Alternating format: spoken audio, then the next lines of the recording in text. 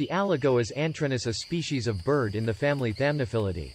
It is endemic to Brazil, found only in the states of Pernambuco and Alagoas, two epicenters of extinction due to rampant deforestation in that area. Its population is now thought to be less than 30 individuals and severely fragmented. Its natural habitat is subtropical or tropical moist lowland forest. Logging and fires are the primary causes behind its decline, something that is expected to continue as a network of roads for logging continues into Atlantic forest. Since the population is limited to higher elevations, climate change is thought to pose yet another threat. To combat this, several tracts of land have been purchased and reserves, such as the Murici Ecological Station, have been created. The Alagoas foliage gleaner is 18 centimeters long with plain rufous brown plumage. Sexes are similar. It inhabits interior upland forest at 400 meters, and has been found singly, in pairs or small groups, and often join mixed species flocks including lesser woodcreeper. The major threat to its existence is habitat destruction, and the clearance of Atlantic forest in Alagoas and Pernambuco has left few other sites likely to support populations of this species. A 2018 study citing bird extinction patterns and the lack of any confirmed sightings since 2011 recommended reclassifying the species as extinct. The white-collared kite is 50 centimeters long. Adults have a gray head with a white hindneck, black upperparts, white underparts, and a gray tail with a very broad, black subterminal band and whitish tip. It is very similar to the more widespread gray-headed kite and was often merged into it as a subspecies. This species is classified as critically endangered. There have been very few sightings of it, and nothing is known of its feeding or breeding ecology. The areas in which it has been sighted have been subject to massive deforestation. The current population is estimated at some 249 mature individuals.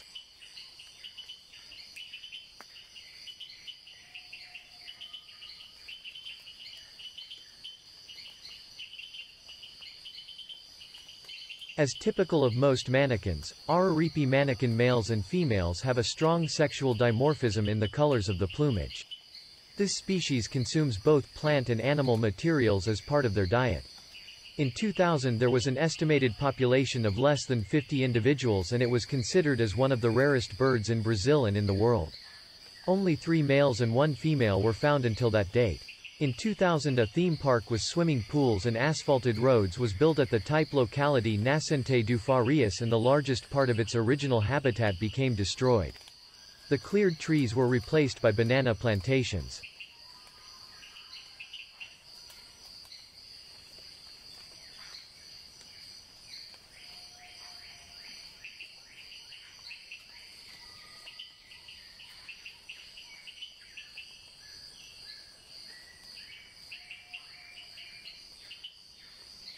Pernambuco pygmy owl is classified as critically endangered and potentially extinct by BirdLife International.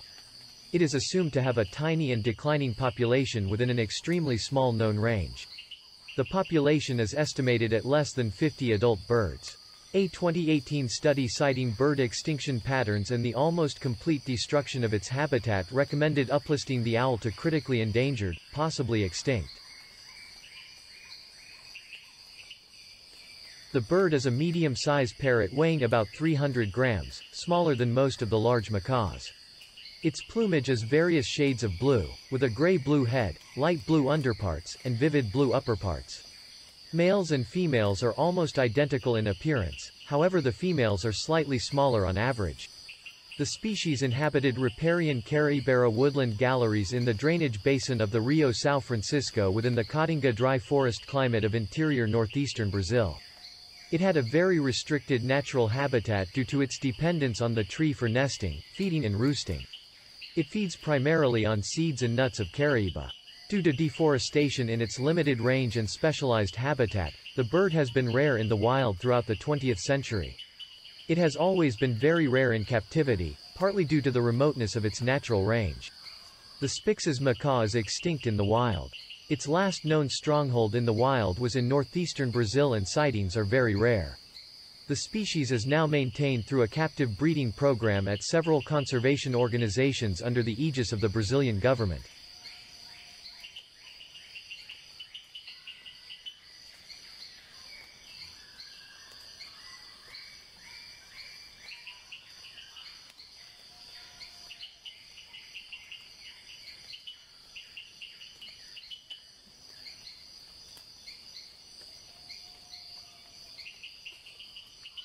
The Brazilian merganser is one of the six most threatened waterfowl in the world, with possibly fewer than 250 birds in the wild and a few kept in captivity in Brazil. The origin of its name is from its long, sharp-edged beak that has a great number of teeth-looking edges. Brazilian mergansers are very territorial birds defending large stretches of river and the land surrounding the fast-flowing water.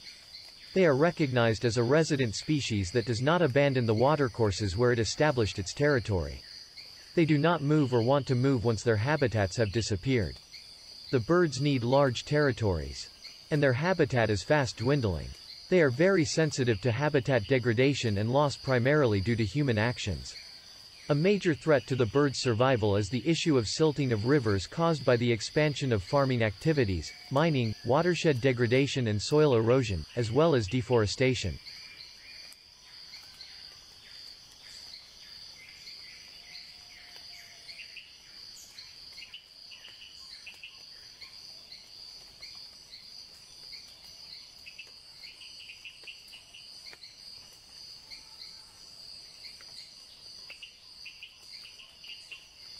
The northern muriqui is an endangered monkey endemic to Brazil. It is unusual among primates in that it shows egalitarian social relationships. It is found in the Atlantic forest, they are the largest species of New World monkeys. It feeds mainly on leaves and twigs, but will also eat fruit. It often hangs upside down by its prehensile tail while eating. The northern muriqui has been argued to be important to understanding human evolution, since it is one of the few primates that has tolerant, non-hierarchical relationships among and between males and females, a feature shared with hunter-gatherer humans, but which contrasts with the ranked relationships of most other primates. Group aggression is also rare. The success of males fathering offspring links to the maternal investment they gain from their mothers and co-resident female kin. This provides support to the grandmother hypothesis. It is threatened by hunting and destruction and fragmentation of its Atlantic forest habitat. The cherry-throated tanager moves through its habitat singly, in pairs or in small flocks led by a dominant bird. If undisturbed, it utilizes regular tracks to visit feeding sites over the course of the day. These tracks vary according to season. It is apparently a resident bird. There is no indication even for altitudinal migrations. This bird has been classified as critically endangered, with an estimated population of between 30 and 200 adult birds and a distribution size of just 31 square kilometers. The major threat to its survival is deforestation leading to further and further habitat fragmentation and which can reduce habitat to a point where it is too small in extent for a viable population of this species. The Rio de Janeiro antwren is a species of bird in the family Thamnophilidae. It is endemic to Brazil, and is currently thought only to survive in Guapiaçu Ecological Reserve, although identification is tricky and its continued survival has been questioned. Its natural habitat is subtropical or tropical moist lowland forest, threatened by habitat loss.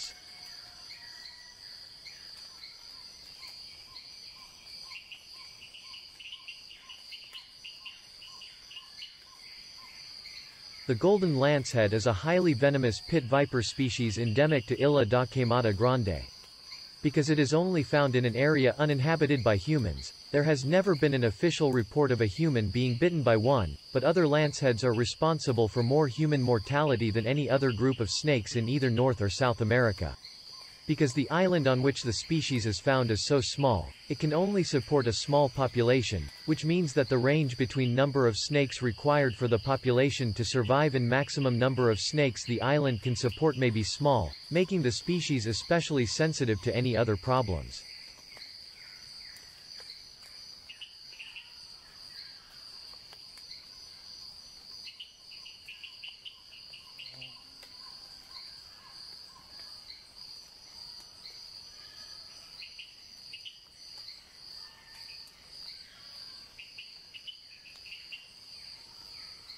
Peracchi's nectar bat is a species of nectar-feeding bat. It was first described from the Atlantic forest in southeastern Brazil. It might be endangered due to habitat destruction. Bat species in the genus Lonchophylla feed on nectar and differ from fruit-eating bats by having a long, extensible tongues and elongated skulls and muzzles.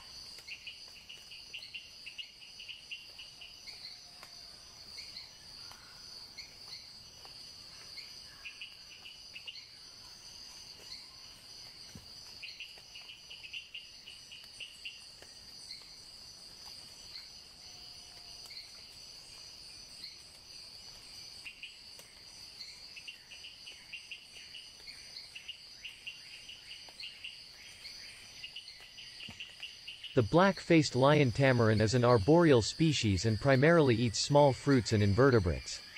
They are also known to drink nectar, eat the young leaves of bromeliads and consume mushrooms. They are thought to supplement parts of their diet with mushrooms during the dry season. There are several conservation projects and the total populations is unlikely to exceed 400 individuals. The black-faced lion tamarin has such a specific habitat preference and low population that habitat loss is the greatest threat to the species. Agriculture, development, fragmentation and extraction of heart of palm are the leading causes for their habitat loss. It is also threatened from the illegal pet trade, hunting, increased tourism and inbreeding depression.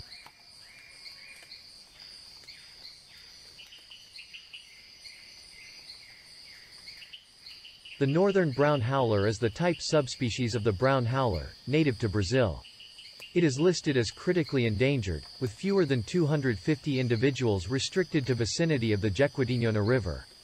The species feeds on fruits, flowers, and by preference immature leaves which are easier to digest than mature leaves. Foraging for these foods in hillside habitats was shown to require more energy expenditure than in valley habitats.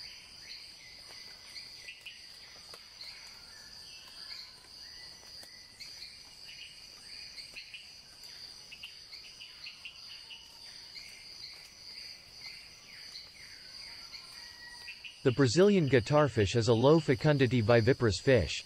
The major threat faced by this guitarfish is overfishing. The fish is caught by trawling, beach seine and gill net and has traditionally been the main batoid fish caught along the coast of southern Brazil. The main ports at which it is landed are Rio Grande. In 1975, 842 tons were landed at Rio Grande and by 1984, that had risen to 1,804 tons. Since then the catch has dwindled to 157 tons in 2002 and has continued to decline since. In southern Brazil waters, the fish seems to have declined by more than 80% since 1986.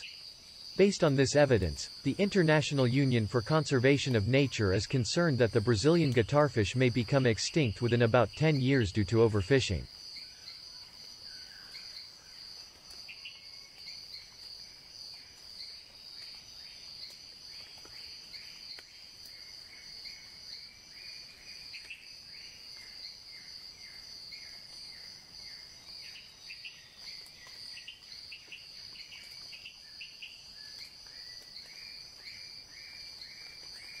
The dark-winged trumpeter is a species of bird in the family Psophiidae.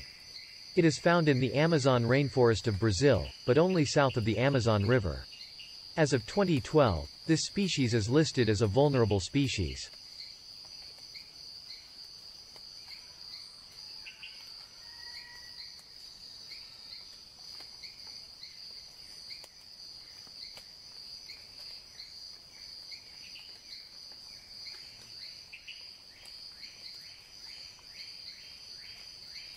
The one-striped opossum is an rare opossum species from South America. It is found in Argentina and Brazil.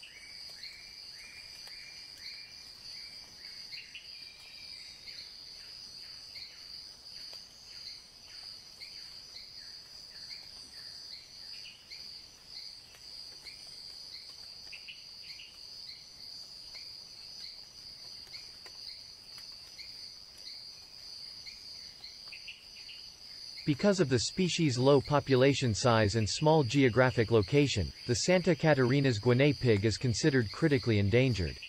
Within the grazing grounds the guinea pigs left evidence of exploitation of their food sources. Grasslands on the surrounding islands have a higher biomass and reach about 50 centimeters, however in feeding areas of the cavies the grasses only reach 5 centimeters high.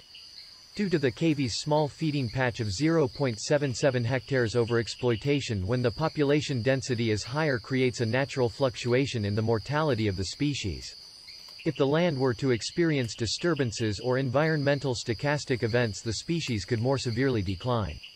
Although the site is within a preservation area, restricted entry is not enforced. Implementation of land management and active monitoring may protect the species from other possible anthropogenic or natural threats. Researchers suggest monitoring the species' vulnerability to parasites and subject the species to parasitological and immunological assessments. Invasive species of lice, mites or grasses entering the system is a potential threat to the population.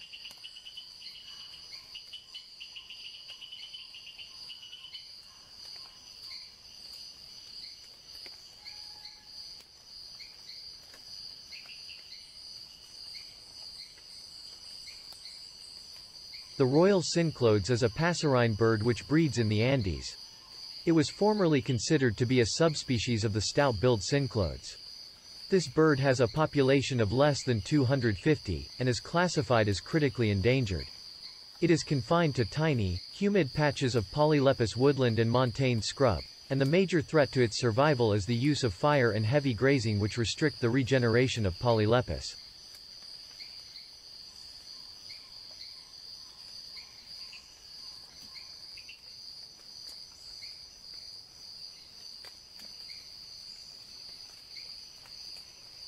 Recent population and range of the blue-throated macaw estimates suggest that about 400 individuals remain in the wild.